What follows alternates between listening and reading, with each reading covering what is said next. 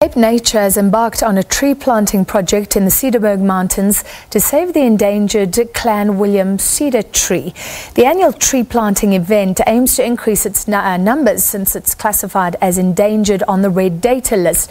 Cape Nature also wants to create awareness about the tree. The rugged Cederberg Mountains, best explored on foot to see San rock art, unpolluted rivers, streams and waterfalls. Missing, though, the formerly abundant Clanwilliam cedar tree. Populations declined dramatically, and it's estimated that only 6% remain in the wild. This tree only occurs, it only grows here in the Cederberg, nowhere else in the world. It is endemic to this area. About two to three hundred years ago, there were lots of trees in the area. Unfortunately, due to climate change, the number of these trees have declined to the point where they are now classified as a red, red data species. We have to make an effort to increase the number of trees and annually we plant young trees like these back into the Cederberg. The annual tree planting ceremony happens in the small village of Heuningvlei. Little hands get down to work and anyone with green fingers can join.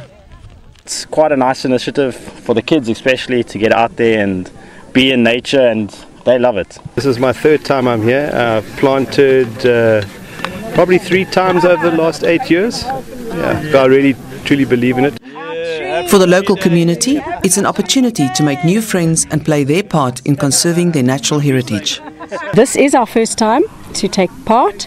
We heard about it through some friends who work here, and um, we thought we'd love to give it a go and be part of planting a tree and doing something for nature. Special water boxes ensure the year old saplings survive the harsh conditions. Conservation efforts like these are costly and need all the support it can get.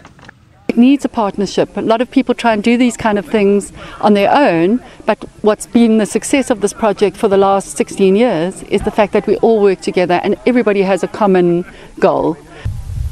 It will take this sapling 30 years before it can produce any seed. To reach maturity, it will have to survive droughts, extreme heat and cold, and the threat of fire. But slowly, the Cederberg Mountains are being restored to their former glory. Linky Bierman, SABC News, the Cederberg Mountains.